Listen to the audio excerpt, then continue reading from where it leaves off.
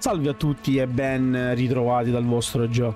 Siamo ancora su Final Fantasy VII Ever Crisis e oggi parliamo di uno dei miei personaggi preferiti per quanto riguarda First Soldier, ovvero Glenn Lodbrok.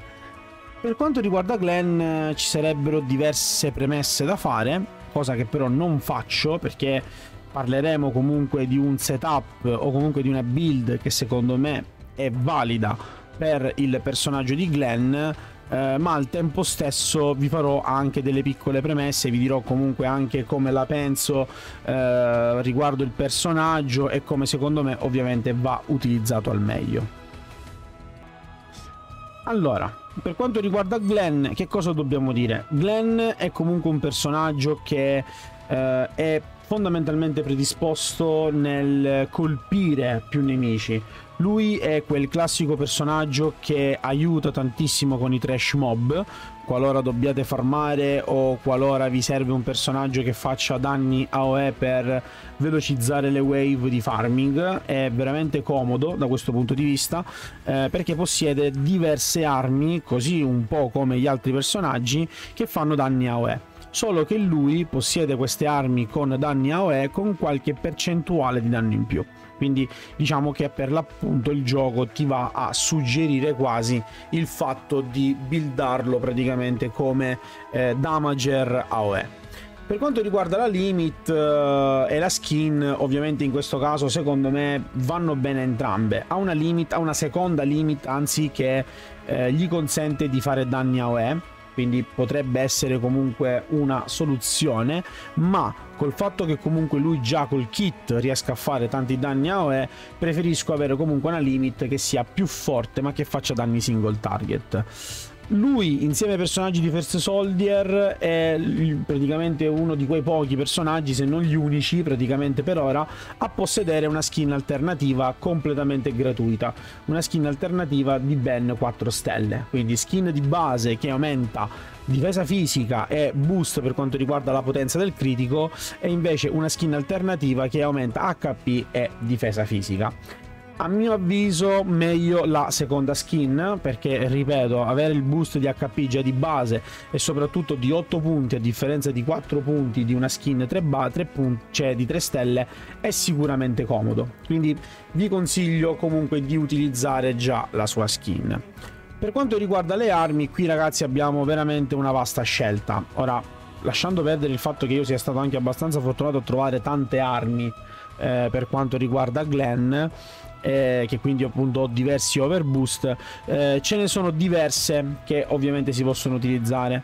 Eh, non considero ovviamente l'arma di Shiva eh, semplice, eh, scusatemi l'arma di Ifrit semplicemente perché queste armi verranno utilizzate solo nell'eventualità appunto si vada a combattere Shiva perché altrimenti non c'è letteralmente la motivazione di utilizzare un'arma, de- un'arma simile. Perché se vi faccio vedere praticamente abbiamo una potencies comunque abbastanza bassa. 320% per un'arma 5 stelle è veramente bassa. Questo semplicemente perché perché essendo comunque un'arma free to play e un'arma che si può farmare il gioco tende a port- farvela portare comunque a qualità di eh, tier viola, eh, di rosa, scusatemi, e quindi portare la potencies a 430%, che diciamo è per l'appunto simile alle stesse percentuali che eh, hanno praticamente le armi dei banner che arrivano a 460, 500 eccetera eccetera. Quindi fondamentalmente è qui il vostro obiettivo. Quindi quest'arma va utilizzata solo se portata comunque a livello rosa, quindi se portata comunque alla seconda tier di eh, overboost quindi non la considero fondamentalmente. Arma free to play, stesso discorso anche per le Thousand Waves, che è per l'appunto l'arma che ci è stata regalata con l'evento estivo che si è appena concluso. Eh, arma che comunque mm, non è male perché raggiunge comunque un 560% di danno magico non elementale, però le refined abilities sono un po' sprecate, tra virgolette, mettiamola così, perché eh, avere 21 punti subito su HP e 24 punti su difesa magica, sì, potrebbero essere utili, ma a mio avviso molto meglio utilizzarle come, ehm, come sub weapon utilizzarle come sub weapon anche se si riduce il numero di punti che si ottiene però eh, diciamo che le stats vengono comunque calcolate a metà e non sono affatto male. Come arma principale, ovviamente essendo comunque di qualità rosa maxata, soprattutto avremo la possibilità di avere un bel po' di attacco fisico e attacco magico che aiuterebbero senza ombra di dubbio il nostro personaggio, ma sinceramente parlando secondo me è molto meglio investire sul moveset piuttosto che investire sulle eh, statistiche che comunque in un modo o nell'altro si possono camuffare o comunque si possono recuperare tramite tutte le armi che si equipaggiano quindi comprese le sub weapon comprese tutte le varie armi che si possono ovviamente dare al personaggio. Quindi io reputo molto più saggio concentrarsi sul moveset.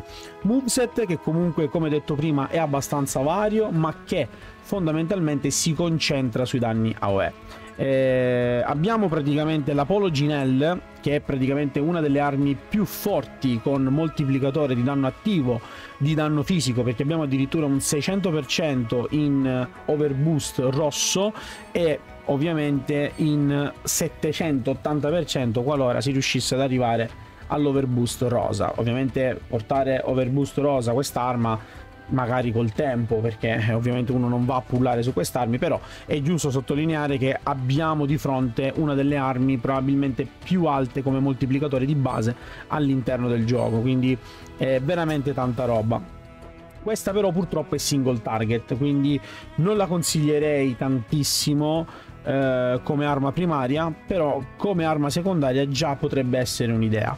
La mia idea fondamentale di arma primaria potrebbe essere senza ombra di dubbio una Gigifam che possiede l'attacco Quaga, quindi un attacco di tipo terra AOE estremamente raro non abbiamo tantissimi danni AOE, abbiamo la magia comunque Quake che ci consente di fare danno ma single target, mentre invece un personaggio come Glenn ha un'arma che addirittura ha una quaga, quindi possibilità di fare danni terra AOE. E questa non è una cosa da sottovalutare. È vero che le potencies sono più basse, ma vi ricordo che le potencies sono più basse perché appunto sono danni AOE. Quindi sono danni che comunque vengono distribuiti a tutti i nostri avversari ovviamente portata più su come tier di qualità abbiamo comunque anche già 400% che sarebbe decisamente valida e poi alla fine 520 ma queste eh, diciamo che sono diciamo che saranno cifre che si raggiungeranno magari pullando a caso trovando off banner trovando comunque armi che non ci interessano e quindi maxando piano piano l'arma. Però a mio avviso una GD FAM è sicuramente una delle armi più rare presenti all'interno del gioco e anche migliori da poter offrire al nostro Glenn. Anche una Shock Booster potrebbe essere comoda perché possiede comunque dei danni tuono AOE. Solo che per quanto riguarda i danni tuono, io personalmente parlando non consiglierei nessun altro al di fuori di Cloud perché comunque Cloud è il primo della classe, se così possiamo chiamarlo, per danni tuono. È vero che fa danni tuono single target, ma fa comunque talmente tanti danni in single target che riesce comunque a giostrarsi bene più avversari, perché fa tanti danni e quindi di conseguenza riesce a shottarli più in fretta. Ehm, ci sarebbero anche altre armi che effettivamente potremmo sottolineare, come ad esempio una Hardcore Squad che dà addirittura una potenza, diciamo, di, mm, diciamo, dà anche una difesa fisica e difesa magica che può arrivare fino a potenza mid, però diciamo che Glenn non viene considerato comunque come un tank e non viene considerato come un difensore, quindi personalmente parlando eh, non ve lo consiglierei più di tanto Ehm, altre armi che probabilmente potrebbero essere interessanti sono la Rest in Peace. Rest in Peace perché possiede comunque il sigillo incluso e questo ragazzi è un sigillo raro perché avere direttamente il sigillo doppio triangolo sotto e sopra non è da tutti. Quindi si può breccare automaticamente l'avversario col doppio sigillo sotto sopra eh, anche senza dover breccare prima i sigilli precedenti. E questa è una cosa da non sottovalutare decisamente da non sottovalutare. Quindi se dovessi fare comunque un setup predefinito metterei sicuramente la Gigifam come arma principale e come seconda arma probabilmente andrei di... Eh, no, eh, dove si trova? Eccola qua, di Rest in Peace. Assolutamente. Ok, qui sicuramente avrete visto un taglio, ma purtroppo telefonata urgente.